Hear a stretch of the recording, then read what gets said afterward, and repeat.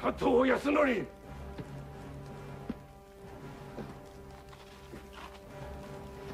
獄の鬼めか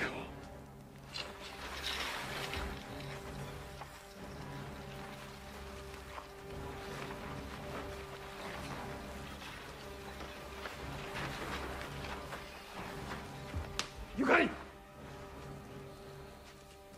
鬼に貶められて血を汚しまさかの子を目覚めさせる前に。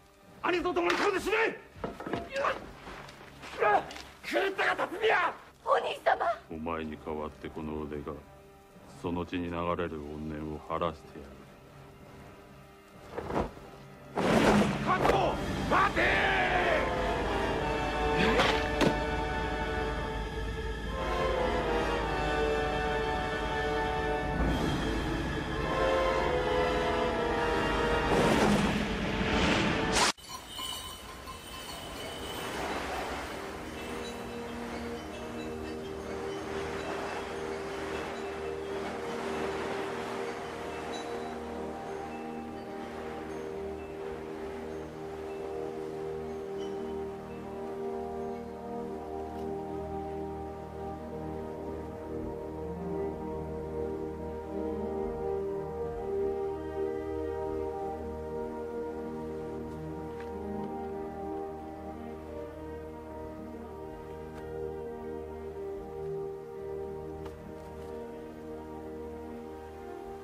平井さん。とうとう胃の年だ。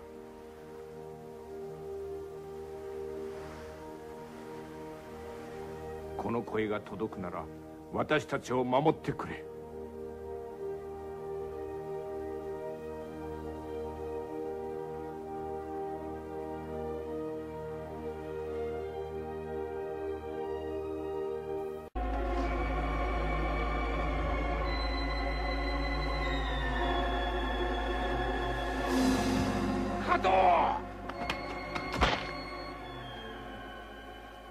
八陣の図。貴様だったか。今度こそ逃がさん人を傷つけるのは性に合わんが。貴様だけは例外例外だ。はあ。しっかりしっかりしろ。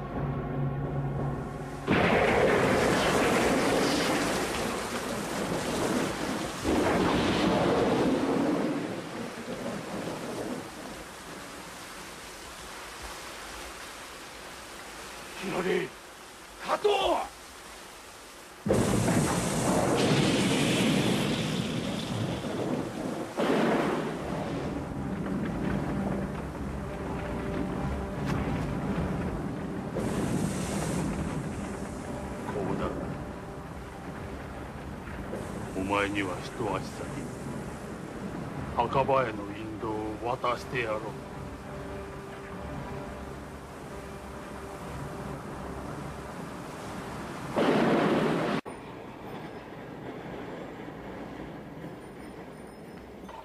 幸田先生。君か。勝てなかったよ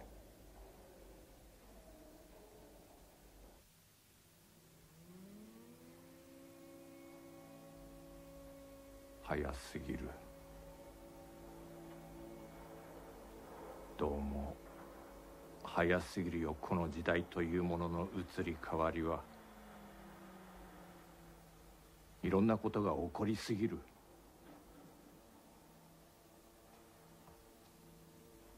辰巳君。加藤の帝都破壊の夢はこれで終わったと思うかね。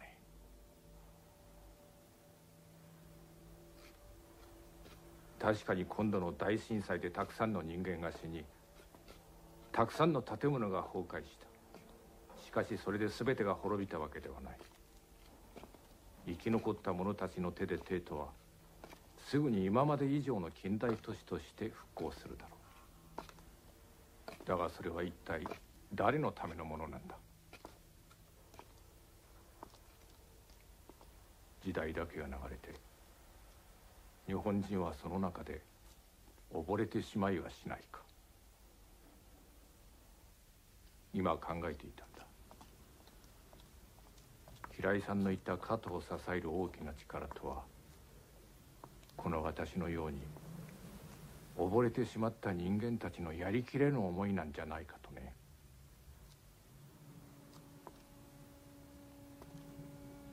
辰巳君加藤は再び現れるよ。次に加藤が現れた時は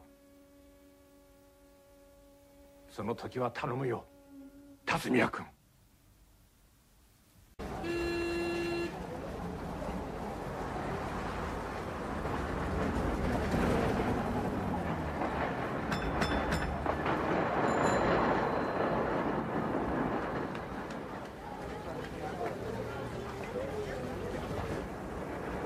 帝都改造か。もう一度やり直したいとは思いませんか。誰が一体これほどまでになると想像したでしょう。20年ほど前神田明神の祭りで今は亡き森鴎外と未来帝都のパノラマという覗きからくりを見物しましたがこの現実はあんなものの日ではありませんな。この都市というやつの発展はとどまることを知らん。破壊と成長とが止めどなく繰り返され人々の行き地を知っていく